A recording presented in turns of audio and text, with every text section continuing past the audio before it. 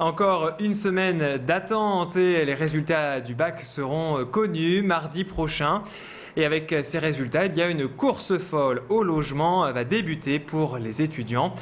Pour avoir les meilleurs appartements et doubler tous les candidats potentiels, il va falloir être rapide et efficace. Et la tendance cette année est à la colocation, un moyen de profiter d'un appartement plus grand en se partageant les frais.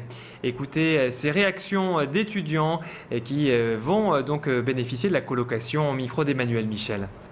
J'étais en résidence l'an dernier, je voulais changer et me mettre en colocation. Et on a eu un peu de mal au début, mais finalement on est passé par une bonne agence, on a trouvé.